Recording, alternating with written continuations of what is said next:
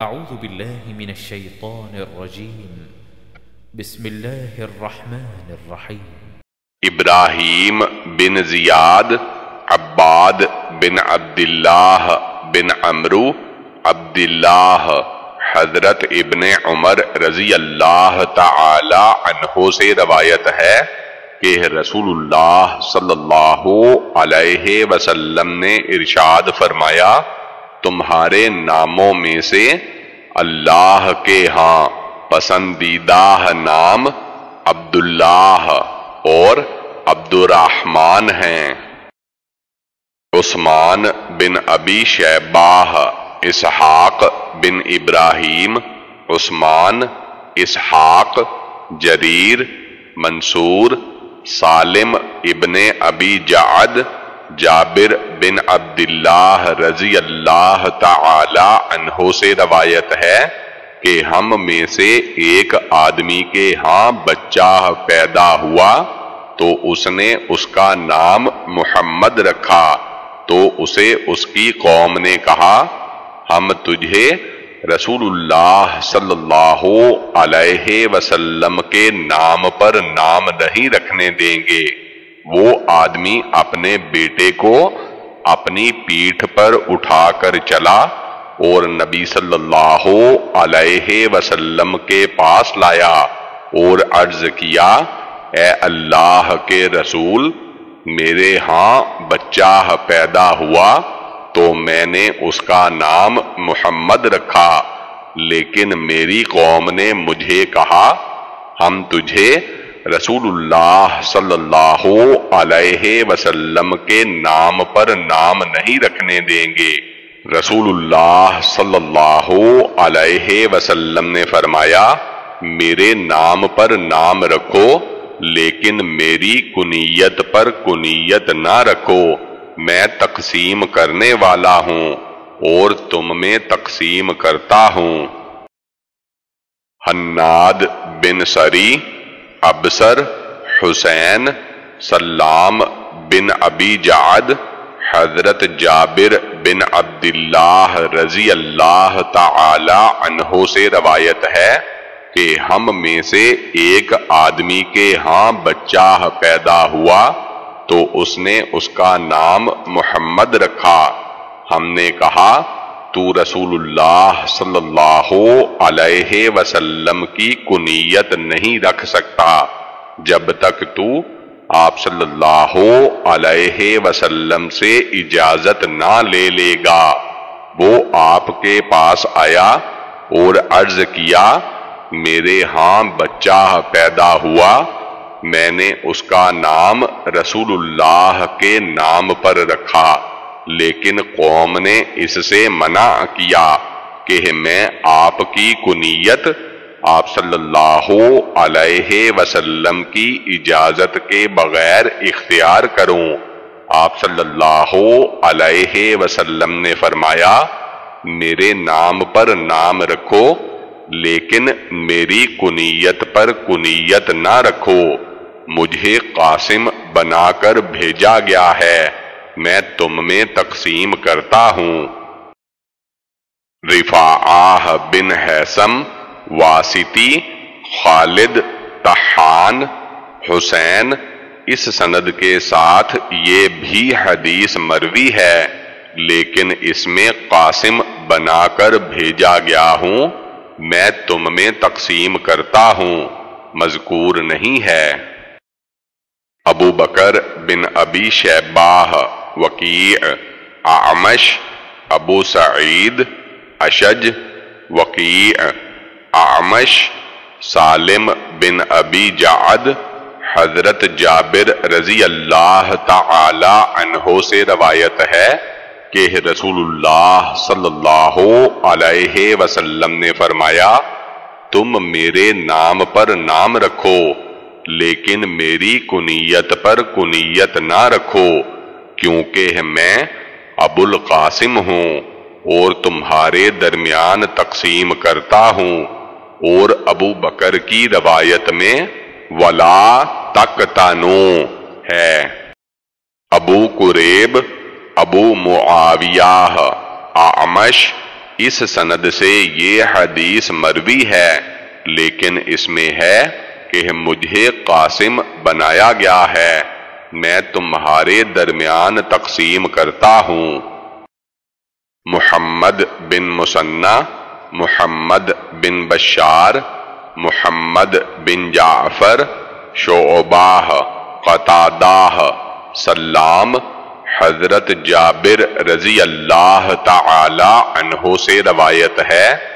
کہ انصاری میں سے ایک آدمی کے ہاں بچہ پیدا ہوا، اس کا نام محمد رکھنے کا ارادہ کیا۔ تو اس نے نبی صلی اللہ علیہ وسلم کے پاس حاضر ہو کر پوچھا۔ تو آپ صلی اللہ علیہ وسلم نے فرمایا، انصار نے اچھا کیا، میرے نام پر نام رکھو۔ لیکن میری کنیت پر کنیت نہ رکھو۔ ابو بکر بن ابی شیباہ، محمد بن مسنہ، محمد بن جعفر، شعباہ منصور، محمد بن عمرو بن جبلاہ، محمد بن جعفر، ابن مسنہ، ابن ابی عدی، شعباہ حسین بشر بن خالد، محمد بن جعفر شعباہ سلیم، سالم بن ابی جعد، جابر بن عبداللہ، اسحاق بن ابراہیم حنزلی، اسحاق بن منصور، نظر بن شمیل شعباہ قطادہ منصور، سلیمان حسین بن عبد الرحمن سالم بن ابی جعد، جابر بن عبداللہ، ان پانچوں اسناد سے بھی یہ حدیث مروی ہے، لیکن حسین کی روایت میں ہے، میں قاسم بنا کر بھیجا گیا ہوں، میں تمہارے درمیان تقسیم کرتا ہوں، اور سلیمان نے کہا کہ رسول اللہ صلی اللہ علیہ وسلم نے فرمایا، میں تو تمہارے درمیان تقسیم کرنے والا ہوں۔ امرو ناقد محمد بن عبداللہ بن نومیر سفیان، امرو سفیان بن عینہ ابن منقدر حضرت جابر رضی اللہ تعالی عنہ سے روایت ہے کہ ہم میں سے ایک آدمی کے ہاں بچہ پیدا ہوا، اس نے اس کا نام قاسم رکھا۔ تو ہم نے اس سے کہا، ہم تجھے ابو القاسم کنیت نہیں رکھنے دیں گے اور نہ اس کنیت کے ساتھ تیری آنکھیں ٹھنڈی ہونے دیں گے۔ اس نے نبی صلی اللہ علیہ وسلم کی خدمت میں حاضر ہو کر اس کا ذکر کیا تو آپ صلی اللہ علیہ وسلم نے فرمایا، اپنے بیٹے کا نام عبد الرحمن رکھ لو۔ امیہ بن بستام یزید بن زریع، علی بن حجر، اسماعیل ابن علیہ۔ روح بن قاسم، محمد بن منقدر، جابر ابن عیناہ، ان دونوں اسناد سے بھی یہ حدیث اسی طرح مروی ہے، لیکن اس میں ہم تیری آنکھیں اس کنیت کے ساتھ ٹھنڈی نہیں ہونے دیں گے، مذکور نہیں۔ ابو بکر بن ابی شیباہ امرو ناقد، زہیر بن حرب، ابن نمیر، سفیان بن عینہ ایوب، محمد بن سیرین، ابو حریرہ رضی اللہ تعالی عنہ سے روایت ہے کہ ابو القاسم نے فرمایا، میرے نام پر نام رکھو، لیکن میری کنیت پر کنیت نہ رکھو۔ ابو بکر بن ابی شیباہ، محمد بن عبداللہ بن نومیر ابو سعید، اشج، محمد بن مسنہ، انازی، ابن نمیر، ابن ادریس، سماک بن حرب القماہ بن وائل، حضرت مغیرہ بن شعبہ رضی اللہ تعالی عنہ سے روایت ہے۔ کہ جب میں نجران آیا تو لوگوں نے مجھ سے پوچھا، تم نے سورہ مریم میں یا اختا ہارونا پڑھا ہے؟ حالانکہ حضرت موسیٰ، حضرت عیسیٰ علیہ السلام سے اتنی مدت پہلے گزرے ہیں۔ جب میں رسول اللہ صلی اللہ علیہ وسلم کے پاس آیا تو میں نے آپ صلی اللہ علیہ وسلم سے اس بارے میں پوچھا، تو آپ صلی اللہ علیہ وسلم نے ارشاد فرمایا، وہ بنی اسرائیل انبیاء علیہ السلام اور گزرے ہوئے نیک آدمیوں کے ناموں پر اپنے نام رکھتے تھے۔ یاہیا بن یاہیا ابو بکر بن ابی شیباہ۔ ابو بکر معتمر بن سلیمان سمراہ یاہیا معتمر بن سلیمان، حضرت سمراہ رضی اللہ تعالی عنہ۔ بن جندب سے روایت ہے کہ رسول اللہ صلی اللہ علیہ وسلم نے ہمیں اپنے غلاموں کے چار نام افلح، رباح، یسار اور نافع رکھنے سے منع فرمایا۔ قطبہ بن سعید، جریر ابن ربیع ابیہ سمراہ بن جندب، حضرت سمراہ بن جندب رضی اللہ تعالی عنہ سے روایت ہے۔ کہ رسول اللہ صلی اللہ علیہ وسلم نے ارشاد فرمایا، اپنے لڑکے کا نام رباح، یسار، افلح اور نافع نہ رکھو۔ احمد بن عبداللہ بن یونس، زہیر، منصور، ہلال بن یصاف ربیع بن عمیلہ۔ حضرت سمراہ بن جندب رضی اللہ تعالی عنہ سے روایت ہے کہ رسول اللہ صلی اللہ علیہ وسلم نے فرمایا، اللہ کے نزدیک سب سے زیادہ محبوب کلمات چار ہیں۔ سبحان اللہ والحمد للہ ولا الہ الا اللہ اور اللہ اکبر، اور تجھے اس میں سے کسی بھی کلمہ کو شروع کرنا نقصان نہ دے گا۔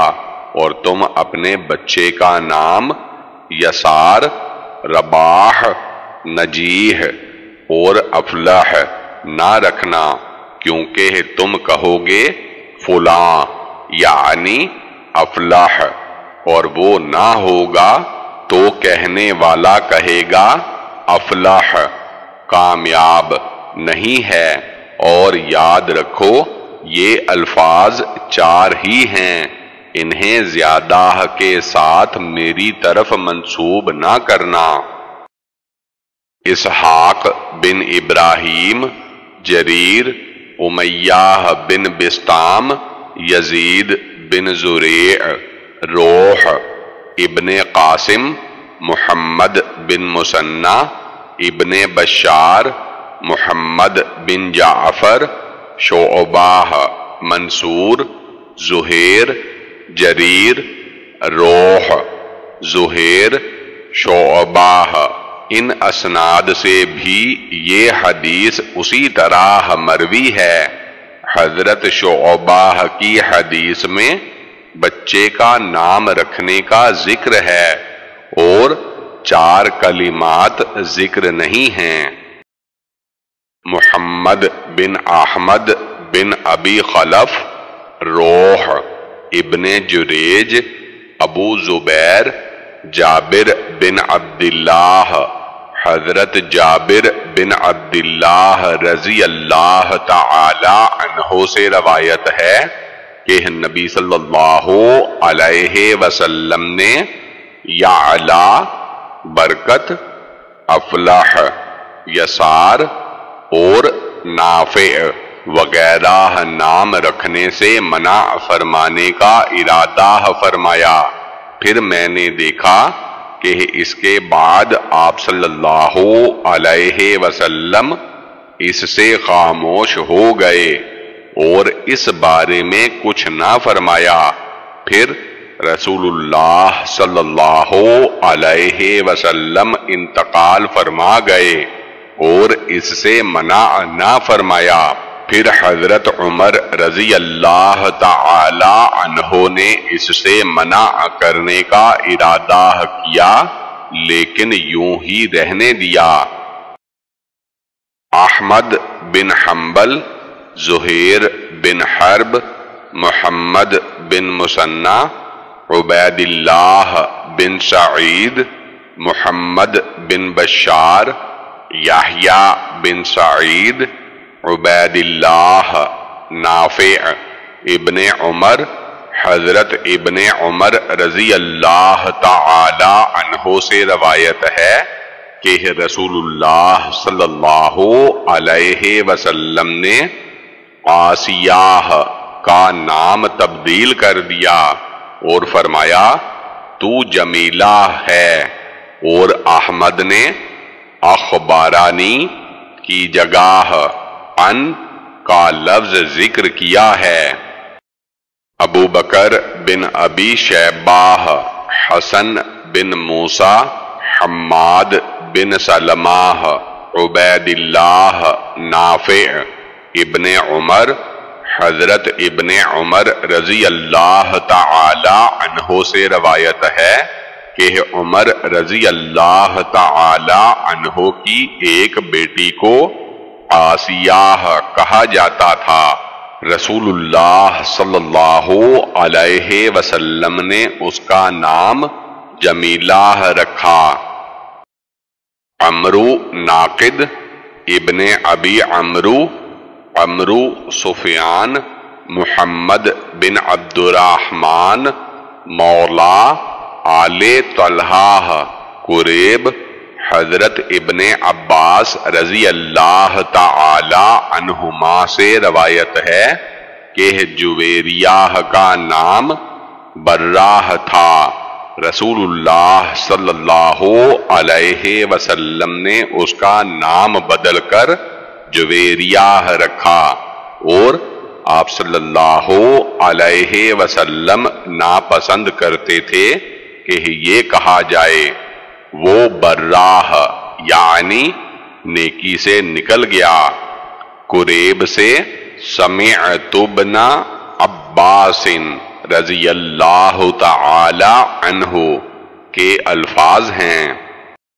ابو بکر بن ابی شیباہ محمد بن مسنہ، محمد بن بشار، محمد بن جعفر، شعباہ، عطا بن ابی میمونہ ابو رافع، ابو حریرہ رضی اللہ تعالی عنہ عبید اللہ بن معاذ، ابو شعباہ، عطا بن ابو میمونہ رافع ابو حریرہ زینب براہ، حضرت ابو حریرہ رضی اللہ تعالی عنہ سے روایت ہے کہ زینب کا نام براہ تھا۔ تو اسے کہا گیا کہ وہ از خود پاکیزہ بنتی ہے۔ تو رسول اللہ صلی اللہ علیہ وسلم نے اس کا نام زینب رکھ دیا۔ اسحاق بن ابراہیم، عیسیٰ بن یونس، ابو قریب، ابو اسامہ، ولید بن کثیر، محمد بن عمرو بن عطا، حضرت زینب بنت ام سلمہ رضی اللہ تعالی عنہا سے روایت ہے کہ میرا نام براہ تھا۔ رسول اللہ صلی اللہ علیہ وسلم نے میرا نام زینب رکھ دیا۔ آپ صلی اللہ علیہ وسلم کے پاس نکاح میں زینب بنت جہش رضی اللہ تعالی عنہا آئیں۔ ان کا نام بھی براہ تھا۔ تو آپ صلی اللہ علیہ وسلم نے اس کا نام زینب رکھ دیا۔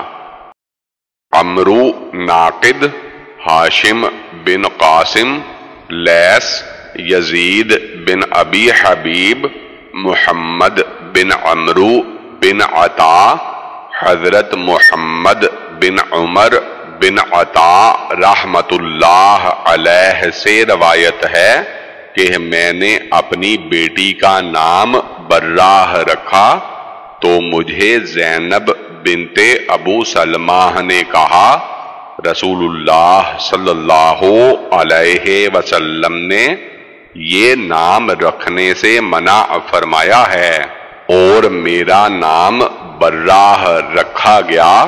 تو رسول اللہ صلی اللہ علیہ وسلم نے فرمایا، تم اپنے نام کو پاکیزہ نہ کہو، اللہ ہی تم میں نیکی کرنے والوں کو جانتا ہے۔ صحابہ رضی اللہ تعالی عنہم نے عرض کیا، پھر ہم اس کا کیا نام رکھیں؟ آپ صلی اللہ علیہ وسلم نے فرمایا، اس کا نام زینب رکھو۔ سعید بن عمرو اشعسی احمد بن حنبل، ابو بکر بن ابی شیباہ احمد اشعسی سفیان بن عیناہ ابو زناد اعرج حضرت ابو حریرہ رضی اللہ تعالی عنہ سے روایت ہے کہ نبی صلی اللہ علیہ وسلم نے ارشاد فرمایا، اللہ کے نزدیک سب سے برا نام یہ ہے کہ کسی آدمی کا نام شہنشاہ رکھا جائے۔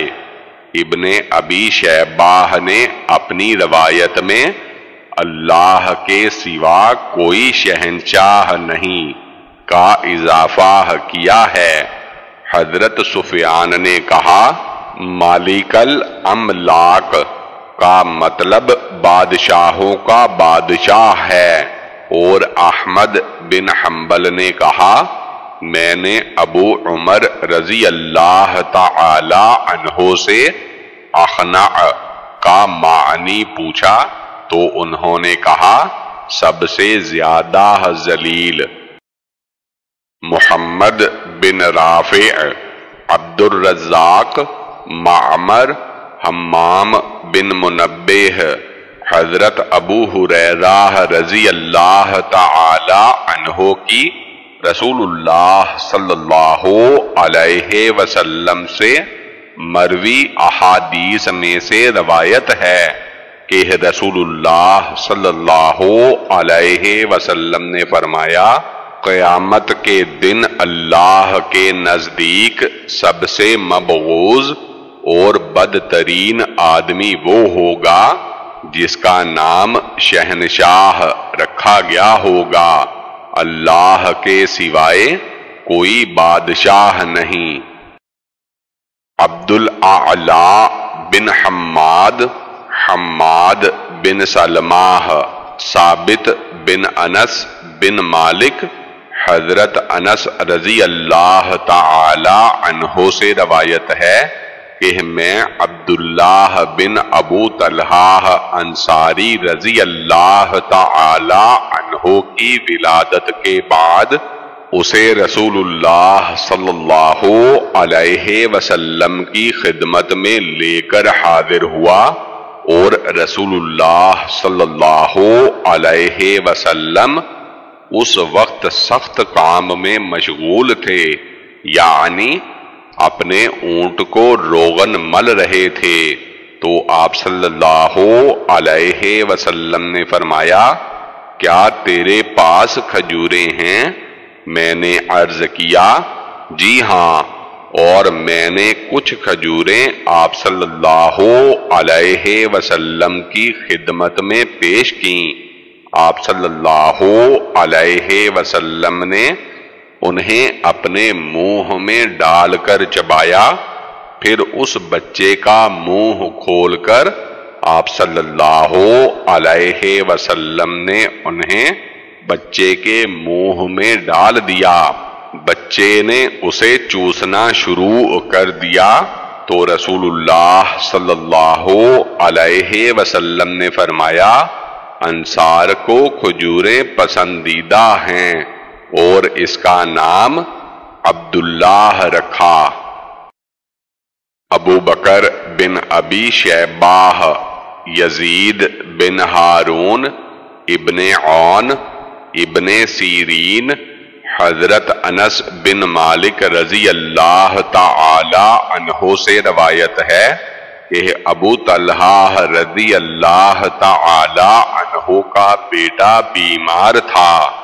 ابو طلحہ رضی اللہ تعالی عنہ کہیں باہر تشریف لے گئے تو بچہ فوت ہو گیا۔ جب ابو طلحہ رضی اللہ تعالی عنہ واپس آئے تو پوچھا، میرے بیٹے کا کیا حال ہے؟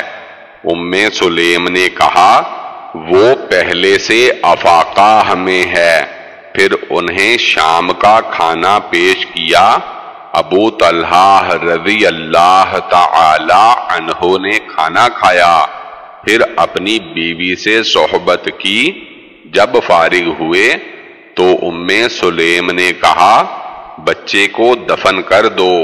جب صبح ہوئی تو ابو طلحہ رضی اللہ تعالی عنہ نے رسول اللہ صلی اللہ علیہ وسلم کی خدمت میں حاضر ہو کر اس کی خبر دی۔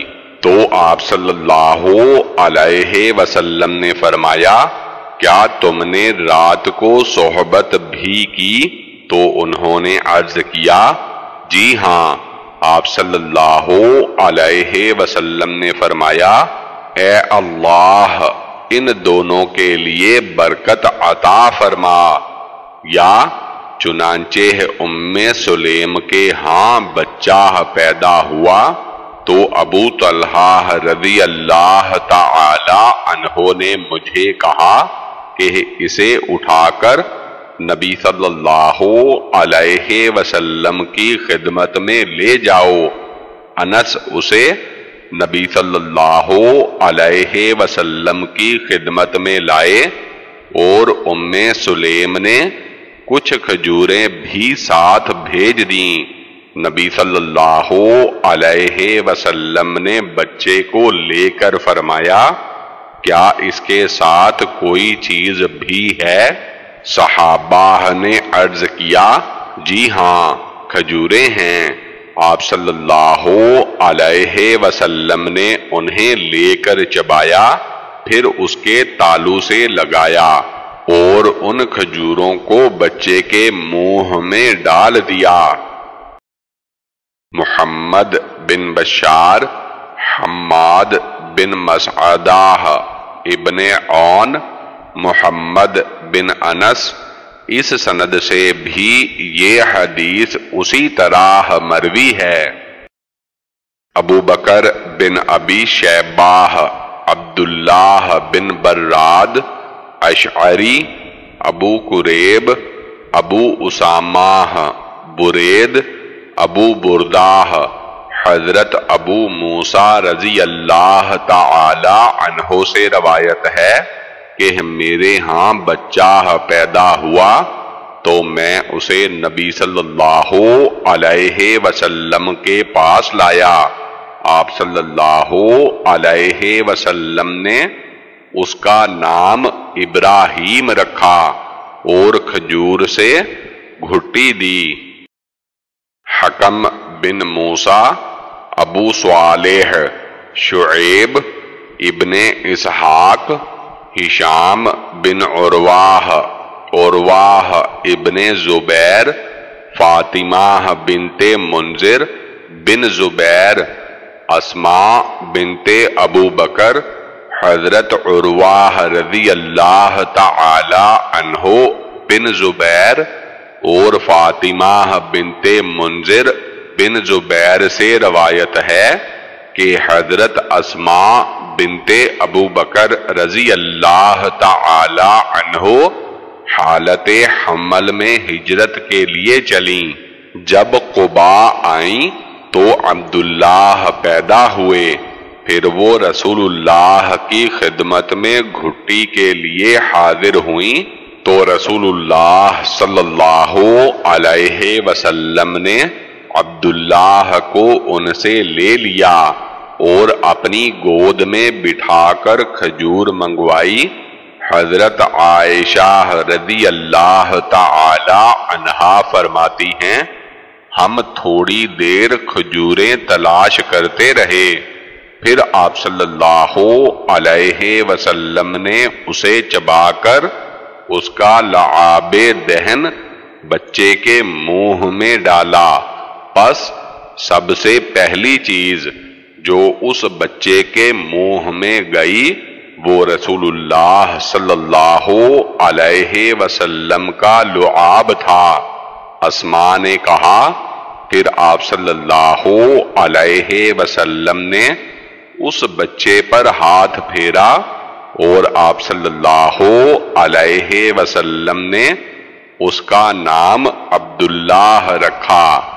پھر وہ رسول اللہ صلی اللہ علیہ وسلم کی خدمت میں سات یا آٹھ سال کی عمر میں حضرت زبیر رضی اللہ تعالی عنہ کے حکم پر آپ صلی اللہ علیہ وسلم سے بیعت کرنے کے لیے حاضر ہوا تو رسول اللہ صلی اللہ علیہ وسلم نے جب اسے اپنی طرف آتے دیکھا تو مسکرائے، پھر اسے بیعت کر لیا۔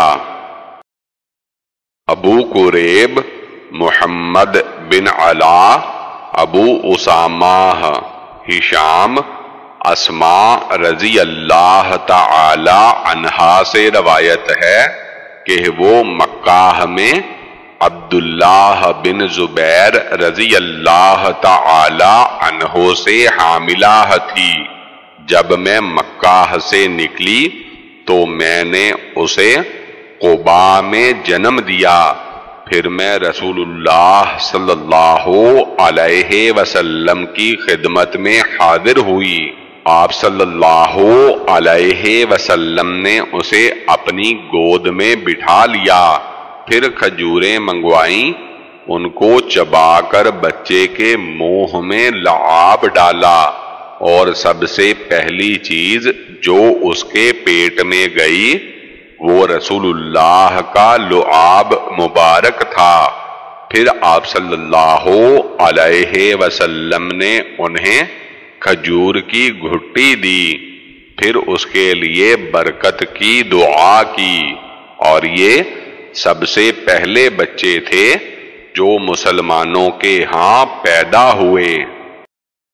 ابو بکر بن ابی شیباہ، خالد بن مخلد، علی بن مسہر ہشام بن عرواہ حضرت اسماء بنت ابو بکر رضی اللہ تعالی عنہما سے روایت ہے کہ انہوں نے رسول اللہ صلی اللہ علیہ وسلم کی طرف حضرت عبداللہ رضی اللہ تعالی عنہ بن زبیر کے حمل سے ہجرت کی۔ باقی حدیث مبارکہ اسی طرح ہے۔ ابو بکر بن ابی شیباہ عبداللہ بن نمیر، ہشام ابن عرواہ حضرت عائشہ رضی اللہ تعالی عنہا سے روایت ہے کہ رسول اللہ صلی اللہ علیہ وسلم کی خدمت میں بچے لائے جاتے تھے۔ آپ صلی اللہ علیہ وسلم ان کے لیے برکت کی دعا فرماتے اور انہیں گھٹی دیتے۔ ابو بکر بن ابی شیباہ ابو خالد، احمر، ہشام، حضرت عائشہ رضی اللہ تعالی عنہا سے روایت ہے کہ ہم عبداللہ بن زبیر رضی اللہ تعالی عنہ کو نبی صلی اللہ علیہ وسلم کی خدمت میں لائے۔ آپ صلی اللہ علیہ وسلم نے انہیں گھٹی دی۔ ہم نے کھجور تلاش کی تو ہمیں اس کا تلاش کرنا مشکل ہوا یعنی مشکل سے ملی۔ محمد بن سہل تمیمی، ابو بکر بن اسحاق ابن ابی مریم، محمد بن مترف ابو غسان، ابو حازم، سہل بن سعد منظر بن ابی اسید، حضرت سہل بن سعد رضی اللہ تعالی عنہ سے روایت ہے کہ جب منظر بن ابو اسید پیدا ہوئے تو انہیں رسول اللہ کی خدمت میں لایا گیا۔ نبی صلی اللہ علیہ وسلم نے اسے اپنی ران پر بٹھا لیا۔ ابو اسید بھی حاضر خدمت تھا۔ رسول اللہ اپنے سامنے موجود کسی چیز میں مشغول ہو گئے۔ ابا اسید نے اپنے بیٹے کو اٹھانے کا حکم دیا تو اسے رسول اللہ صلی اللہ علیہ وسلم کی ران پر سے اٹھا لیا گیا۔ وہ اسے لے گئے جب رسول اللہ صلی اللہ علیہ وسلم اپنے کام سے فارغ ہو کر متوجہ ہوئے تو فرمایا، بچہ کہاں ہے؟ ابو اسید نے عرض کیا، اے اللہ کے رسول، میں نے اسے اٹھا لیا ہے۔ آپ صلی اللہ علیہ وسلم نے فرمایا، اس کا نام کیا ہے؟ عرض کیا اے اللہ کے رسول، فلاں ہے۔ آپ صلی اللہ علیہ وسلم نے فرمایا، نہیں، بلکہ اس کا نام منظر ہے۔ پھر آپ صلی اللہ علیہ وسلم نے اس کا نام اسی دن سے منظر رکھ دیا۔ ابو ربیع سلیم ابن داود عطا عبد الوارث ابو تیاح انس بن مالک، شیبان بن فروخ عبد الوارث ابی تیاح، حضرت انس بن مالک رضی اللہ تعالی عنہ سے روایت ہے کہ رسول اللہ صلی اللہ علیہ وسلم اخلاق کے اعتبار سے سب سے اچھے تھے۔ میرا ایک بھائی تھا جسے ابو عمیر کہا جاتا تھا۔ راوی کہتا ہے کہ میں گمان کرتا ہوں کہ حضرت انس رضی اللہ تعالی عنہ نے کہا کہ اس کا دودھ چھوٹ گیا جب رسول اللہ صلی اللہ علیہ وسلم تشریف لاتے تو اسے دیکھ کر فرماتے، اے ابو عمیر، نغیر ایک پرندے کا نام نے کیا کیا اور وہ اس پرندہ سے کھیلا کرتے تھے۔ محمد بن عبید غباری، ابو عواناہ، ابو عثمان، حضرت انس رضی اللہ تعالی عنہ سے روایت ہے کہ رسول اللہ صلی اللہ علیہ وسلم نے مجھے اے میرے بیٹے، فرمایا، ابو بکر بن ابی شیباہ ابن ابی عمر ابن ابی عمر یزید بن ہارون اسماعیل بن ابی خالد قیس بن ابی حازم حضرت مغیرہ بن شعبہ رضی اللہ تعالی عنہ سے روایت ہے۔ کہ دجال کے بارے میں رسول اللہ صلی اللہ علیہ وسلم سے جتنے سوال میں نے کیے اور کسی نے نہیں کیے، تو آپ صلی اللہ علیہ وسلم نے مجھے فرمایا، اے بیٹے، تجھے اس کے بارے میں کیا فکر ہے؟ وہ تجھے کچھ نقصان نہ پہنچا سکے گا۔ میں نے عرض کیا، لوگ گمان کرتے ہیں کہ اس کے ساتھ پانی کی نہریں اور روٹی کے پہاڑ ہوں گے۔ آپ صلی اللہ علیہ وسلم نے فرمایا، اللہ کے نزدیک یہ بات اس سے بھی زیادہ آسان ہے۔ ابو بکر بن ابی شیباہ ابن نومیر وکیع سریج بن یونس، حشیم، اسحاق بن ابراہیم، جریر، محمد بن رافع، ابو اسامہ، اسماعیل، ان اسناد سے بھی یہ حدیث اسی طرح مروی ہے۔ فرق یہ ہے کہ ان میں آپ صلی اللہ علیہ وسلم نے حضرت مغیرہ کو، اے بیٹے، نہیں کہا. امرو بن محمد بن بکیر، ناقد سفیان بن عینہ یزید بن خسیفہ بسر بن سعید، ابو سعید خدری رضی اللہ تعالی عنہ سے روایت ہے۔ کہ میں مدینہ میں انصار کی مجلس میں بیٹھا ہوا تھا۔ کہ ابو موسا گھبرائے یا سہمے ہوئے ہمارے پاس آئے۔ ہم نے کہا، تجھے کیا ہوا؟ انہوں نے کہا، حضرت عمر رضی اللہ تعالی عنہ نے مجھے اپنے پاس بلایا۔ میں ان کے دروازے پر حاضر ہوا۔ تو میں نے تین مرتبہ سلام کیا، لیکن مجھے کوئی جواب نہ ملا تو میں واپس آ گیا۔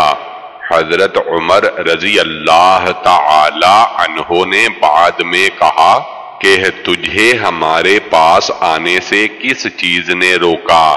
میں نے عرض کیا، میں نے آپ کے دروازے پر حاضر ہو کر تین مرتبہ سلام کیا لیکن جواب نہ دیا گیا تو کوئی اگر تین مرتبہ اجازت مانگے اور اسے اجازت نہ دی جائے تو چاہیے کہ وہ واپس لوٹ جائے۔ تو حضرت عمر رضی اللہ تعالی عنہ نے فرمایا، اس پر گواہی پیش کرو، ورنہ میں تجھے سزا دوں گا۔ حضرت ابی بن کعب رضی اللہ تعالی عنہ نے کہا، ان کے ساتھ وہی جائے گا جو قوم میں سب سے چھوٹا ہوگا۔ ابو سعید نے کہا، میں نے عرض کیا، میں قوم میں سب سے چھوٹا ہوں گا۔ ابو سعید نے کہا، میں نے عرض کیا، میں قوم میں سب سے چھوٹا ہوں۔ فرمایا، ان کو لے جاؤ۔ قطبہ بن سعید ابن ابی عمر، سفیان، یزید بن خسیفہ ابن ابی عمر۔ اس سند سے یہ حدیث بھی روایت کی گئی ہے۔ ابن ابی عمر رضی اللہ تعالی عنہ نے اپنی روایت میں یہ اضافہ کیا ہے کہ ابو سعید نے کہا، میں ان کے ساتھ کھڑا ہوا اور حضرت عمر رضی اللہ تعالی عنہ کے پاس جا کر گواہی دی۔ ابو طاہر، عبداللہ بن وحب عمرو بن حارث، بکیر بن اشج، بسر بن سعید، حضرت ابو سعید خدری رضی اللہ تعالی عنہ سے روایت ہے کہ ہم ایک مجلس میں ابی بن کعب رضی اللہ تعالی عنہ کے پاس بیٹھے ہوئے تھے کہ حضرت ابو موسا اشعری رضی اللہ تعالی عنہ غصہ ہمیں آئے اور کھڑے ہو کر کہا، میں تمہیں اللہ کی قسم دے کر کہتا ہوں، کیا تم میں سے کسی نے رسول اللہ صلی اللہ علیہ وسلم سے سنا ہے؟ کہ اجازت تین مرتبہ ہے۔ اگر تجھے اجازت دی جائے تو ٹھیک، ورنہ تو لوٹ جا۔ ابی بن کعب رضی اللہ تعالی عنہ نے کہا واقع آہ، کیا ہے؟ ابو موسا رضی اللہ تعالی عنہ نے کہا میں نے کل حضرت عمر بن خطاب رضی اللہ تعالی عنہ کے پاس جانے کے لیے تین مرتبہ اجازت طلب کی، لیکن مجھے اجازت نہ دی گئی تو میں واپس آ گیا۔ پھر آج میں ان کے پاس حاضر ہوا تو انہیں خبر دی گئی کہ میں کل آیا تھا۔ تین مرتبہ سلام کیا پھر میں واپس چلا گیا۔ حضرت عمر رضی اللہ تعالی عنہ نے کہا، ہم نے تیری آواز سنی تھی، لیکن ہم اس وقت کسی کام میں مشغول تھے۔ کاش تم اجازت ملنے تک اجازت مانگتے رہتے۔ حضرت ابو موسا رضی اللہ تعالی عنہ نے کہا میں نے اسی طرح اجازت طلب کی جیسا کہ میں نے رسول اللہ صلی اللہ علیہ وسلم سے سنا۔ حضرت عمر رضی اللہ تعالی عنہ نے کہا، اللہ کی قسم، میں تیری پیٹھ یا پیٹ پر سزا دوں گا۔ یا تو کوئی ایسا آدمی پیش کر جو تیری اس حدیث پر گواہی دے۔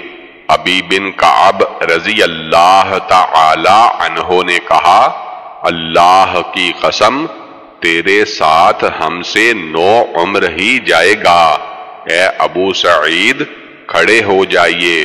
میں کھڑا ہوا یہاں تک کہ حضرت عمر رضی اللہ تعالی عنہ کے پاس آیا۔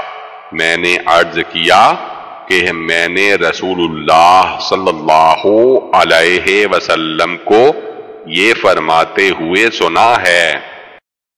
نصر بن علی جہزمی، بشر ابن مفصل، سعید بن یزید، ابو نذراہ حضرت ابو سعید رضی اللہ تعالی عنہ سے روایت ہے کہ ابو موسا نے حضرت عمر رضی اللہ تعالی عنہ کے دروازے پر جا کر اجازت مانگی تو عمر نے کہا، ایک مرتبہ ہوئی، پھر دوسری مرتبہ اجازت طلب کی تو حضرت عمر رضی اللہ تعالی عنہ نے کہا، دو ہو گئیں، پھر تیسری مرتبہ اجازت مانگی تو حضرت عمر رضی اللہ تعالی عنہ نے کہا، تین مرتبہ ہو گئی، پھر یہ واپس آ گئے۔ تو حضرت عمر نے کسی آدمی کو ان کے پیچھے بھیجا، وہ انہیں واپس لے آیا۔ تو حضرت عمر رضی اللہ تعالی عنہ نے کہا، اگر اس معاملہ میں آپ کو رسول اللہ صلی اللہ علیہ وسلم کی کوئی حدیث یاد ہے تو پیش کرو، ورنہ میں آپ کو عبرت ناک سزا دوں گا۔ ابو سعید نے کہا کہ ابو موسا نے ہمارے پاس آ کر کہا، کیا تم جانتے ہو کہ رسول اللہ صلی اللہ علیہ وسلم نے فرمایا اجازت تین مرتبہ ہوتی ہے۔ حضرت ابو سعید نے کہا، لوگوں نے ہنسنا شروع کر دیا۔ میں نے کہا، تمہارے پاس تمہارا مسلمان بھائی گھبرایا ہوا آیا ہے اور تم ہنستے ہو۔ تم چلو، میں تمہارا ساتھی بنتا ہوں۔ اس پریشانی میں پھر وہ حضرت عمر رضی اللہ تعالی عنہ کے پاس حاضر ہوئے اور عرض کیا، یہ ابو سعید یعنی بطور گواہ حاضر ہے۔ محمد بن مسنہ، ابن بشار، محمد بن جعفر شعباہ ابو مسلمہ، ابو نذراہ ابو سعید احمد بن حسن بن خیراش، شباباہ، شعباہ، جریر، سعید بن یزید، ابو نذراہ، ابو سعید خدری، ان دونوں اسناد سے بھی یہ حدیث مبارکہ اسی طرح مروی ہے۔ محمد بن حاتم یحییٰ بن سعید، قطان ابن جریج، عطا، حضرت عبید بن عمیر رضی اللہ تعالی عنہ سے روایت ہے کہ ابو موسا رضی اللہ تعالی عنہ نے حضرت عمر رضی اللہ تعالی عنہ کے پاس حاضری کے لیے تین مرتبہ اجازت مانگی، انہیں گویا کہ کسی کام میں مشغول پایا۔ تو واپس آ گئے تو حضرت عمر رضی اللہ تعالی عنہ نے کہا، کیا تم نے عبداللہ بن قیس رضی اللہ تعالی عنہ کی آواز نہیں سنی؟ اسے اجازت دے دو۔ پھر انہیں بلایا گیا۔ پھر حضرت عمر رضی اللہ تعالی عنہ نے کہا تمہیں کس چیز نے اس بات پر ابھارا کہ تم واپس چلے گئے؟ انہوں نے کہا، ہمیں اسی بات کا حکم دیا گیا ہے۔ حضرت عمر رضی اللہ تعالی عنہ نے کہا، تم اس بات پر گواہی پیش کرو، ورنہ ہم میں مناسب اقدام کروں گا۔ وہ نکلے اور انصار کی ایک مجلس کی طرف چلے۔ انہوں نے کہا، ہم میں سب سے چھوٹا ہی تیری اس بات کی گواہی دے گا۔ حضرت ابو سعید رضی اللہ تعالی عنہ کھڑے ہوئے اور کہا، ہمیں اس بات کا حکم دیا گیا ہے۔ تو حضرت عمر رضی اللہ تعالی عنہ نے فرمایا یہ بات مجھ سے پوشیدہ تھی اور رسول اللہ صلی اللہ علیہ وسلم کے اس حکم سے مجھے بازار کی تجارت نے غافل رکھا۔ محمد بن بشار، ابو عاصم، حسین بن حریس نظر ابن شمیل، ابن جریج اس سند سے بھی یہ حدیث اسی طرح مروی ہے، لیکن نظر کی حدیث میں اس سے مجھے بازار کی تجارت نے غافل رکھا کہ الفاظ مذکور نہیں۔ حسین بن حریس ابو عمار، فضل بن موسا طلحہ بن یحییٰ حضرت ابو موسا اشعری رضی اللہ تعالی عنہ سے روایت ہے کہ حضرت عمر رضی اللہ تعالی عنہ کے پاس حاضر ہو کر، السلام علیکم، عبداللہ بن قیس حاضر ہے، کہا، لیکن انہیں اجازت نہ ملی۔ انہوں نے پھر کہا، السلام علیکم ابو موسا حاضر ہے۔ السلام علیکم، اشعری حاضر ہے۔ پھر واپس لوٹ آئے۔ حضرت عمر رضی اللہ تعالی عنہ نے کہا، انہیں میرے پاس لے آؤ۔ وہ آئے تو فرمایا، اے ابو موسا تم واپس کیوں گئے؟ ہم ایک کام میں مشغول تھے۔ انہوں نے عرض کیا، میں نے رسول اللہ صلی اللہ علیہ وسلم کو فرماتے ہوئے سنا کہ اجازت تین مرتبہ ہوتی ہے۔ اگر تجھے اجازت دے دی جائے تو ٹھیک، ورنہ لوٹ جاؤ۔ حضرت عمر رضی اللہ تعالی عنہ نے کہا، تم اس بات پر میرے پاس گواہی لاؤ۔ ورنہ میں کروں گا جو کچھ کروں گا۔ ابو موسا رضی اللہ تعالی عنہ گئے۔ حضرت عمر رضی اللہ تعالی عنہ نے کہا، اگر انہیں گواہی مل گئی تو تم انہیں شام کے وقت ممبر کے پاس پاؤ گے۔ اور اگر انہیں گواہی نہ ملی تو تم انہیں نہ پاؤ گے۔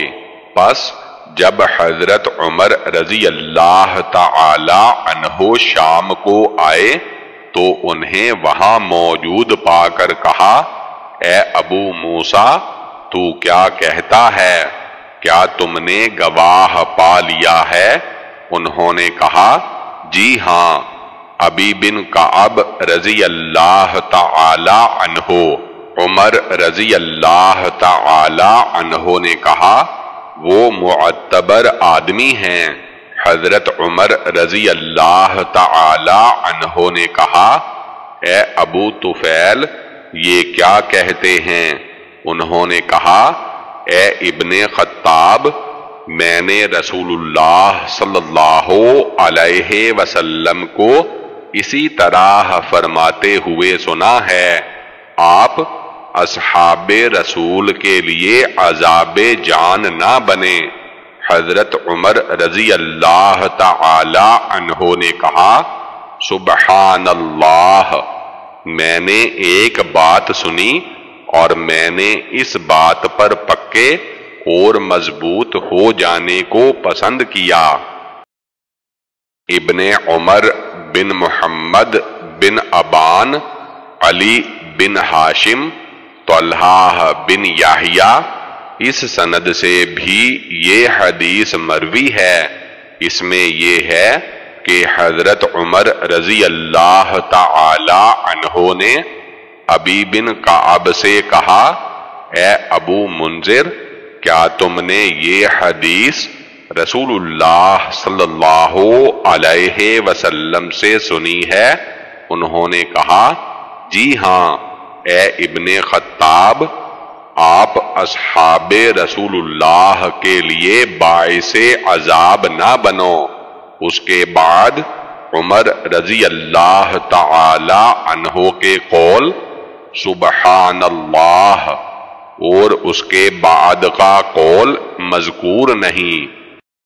محمد بن عبداللہ بن نومیر عبداللہ بن ادریس شعبہ محمد بن منقدر حضرت جابر رضی اللہ تعالی عنہ سے روایت ہے کہ میں نبی صلی اللہ علیہ وسلم کی خدمت میں حاضر ہوا تو میں نے آواز دی۔ نبی صلی اللہ علیہ وسلم نے فرمایا، یہ کون ہے؟ میں نے عرض کیا، میں ہوں۔ آپ صلی اللہ علیہ وسلم میں میں کہتے ہوئے باہر تشریف لائے۔ یاہیا بن یاہیا ابو بکر بن ابی شیباہ، ابو بکر یاہیا ابو بکر وکیع، شعباہ، محمد بن منقدر حضرت جابر بن عبداللہ رضی اللہ تعالی عنہ سے روایت ہے کہ میں نے نبی صلی اللہ علیہ وسلم کی خدمت میں حاضر ہونے کے لیے اجازت مانگی تو آپ صلی اللہ علیہ وسلم نے فرمایا، کون ہو؟ میں نے عرض کیا، میں ہوں۔ تو نبی نے فرمایا، میں میں اسحاق بن ابراہیم، نظر بن شمیل، ابو عامر، محمد بن مسنہ وحب بن جریر عبد الرحمن بن بشر، بحض، ان تینوں اسناد سے بھی یہ حدیث اسی طرح مروی ہے۔ ان میں ہے کہ آپ صلی اللہ علیہ وسلم نے، میں ہوں۔ کہنے کو ناپسند فرمایا۔ یاہیا بن یاہیا محمد بن رمح لیس یاہیا قطبہ بن سعید لیس ابن شہاب، حضرت سہل بن سعد سعیدی رضی اللہ تعالی عنہ سے روایت ہے۔ کہ ایک آدمی نے رسول اللہ صلی اللہ علیہ وسلم کے حجرہ مبارک کی درز میں سے جھانکا اور رسول اللہ کے پاس ایک آلہ تھا جس سے آپ اپنے سر مبارک کو کھجلا رہے تھے۔ جب رسول اللہ صلی اللہ علیہ وسلم نے اسے دیکھا تو فرمایا، اگر میں جانتا ہوتا کہ تو مجھے دیکھ رہا ہے، تو اسے میں تیری آنکھوں میں چبھو دیتا۔ اور رسول اللہ صلی اللہ علیہ وسلم نے فرمایا، اجازت لینے کا حکم دیکھنے کی وجہ سے تو مقرر کیا گیا ہے۔ حرملہ بن یحییٰ ابن وحب یونس ابن شہاب سہل بن سعد انصاری، حضرت سہل بن سعد انصاری سے روایت ہے کہ ایک آدمی نے رسول اللہ کے دروازہ کی درز میں سے جھانکا اور رسول اللہ کے پاس ایک کنگھا تھا، جس سے آپ صلی اللہ علیہ وسلم اپنے سر میں کنگھی کر رہے تھے۔ تو رسول اللہ صلی اللہ علیہ وسلم نے فرمایا، اگر مجھے معلوم ہوتا کہ تو دیکھ رہا ہے، تو میں اس کنگھے کو تیری آنکھ میں جب ہو دیتا۔ اللہ تبارک و تعالی نے اجازت لینے کا حکم دیکھنے ہی کی وجہ سے تو مقرر فرمایا ہے۔ ابو بکر بن ابی شیباہ امرو ناقد، زہیر بن حرب، ابن ابی عمر، سفیان بن عیناہ، ابو کامل جاہدری عبد الواحد بن زیاد، معمر، زہری، حضرت سہل بن سعد رضی اللہ تعالی عنہ نے نبی صلی اللہ علیہ وسلم سے اسی طرح حدیث نقل کی ہے۔ یحییٰ بن یحییٰ ابو کامل، فضیل بن حسین قطبہ بن سعید یحییٰ ابو کامل یحییٰ حامد بن زید عبید اللہ بن ابی بکر حضرت انس رضی اللہ تعالی عنہ سے روایت ہے کہ ایک آدمی نے نبی صلی اللہ علیہ وسلم کے حجروں میں سے کسی حجرے کے درز میں سے جھانکا تو آپ اس کی طرف تیر لے کر اٹھے۔ گویا، میں رسول اللہ کی طرف دیکھ رہا ہوں اور اس کی تاک میں لگے رہے۔ تاکہ اسے چبھو دیں۔ زہیر بن حرب، جریر، سہیل، ابو حریرہ رضی اللہ تعالی عنہ، حضرت ابو حریرہ رضی اللہ تعالی عنہ سے روایت ہے کہ نبی صلی اللہ علیہ وسلم نے فرمایا، جس نے کسی قوم کے گھر میں ان کی اجازت کے بغیر جھانکا تو اس نے ان کے لیے اپنی آنکھ کو پھوڑ دینا حلال و جائز کر دیا۔ ابن ابی عمر، سفیان، ابی زناد، اعرج، ابو حریرہ رضی اللہ تعالی عنہ، روایت ہے کہ رسول اللہ صلی اللہ علیہ وسلم نے فرمایا، جس نے تجھے تیری اجازت کے بغیر جھانکا اور تو نے کنکری مار کر اس کی آنکھ ضائع کر دی، تو تم پر کوئی جرم عائد نہ ہوگی۔